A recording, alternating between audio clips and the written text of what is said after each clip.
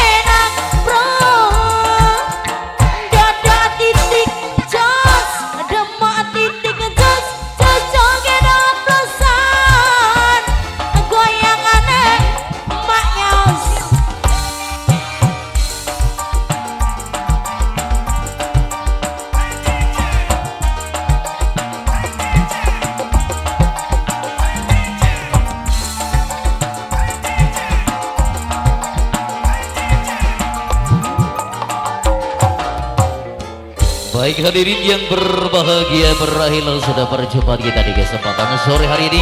Ya pada kami atas nama dari guru yang perkasa tentunya sang putra kita.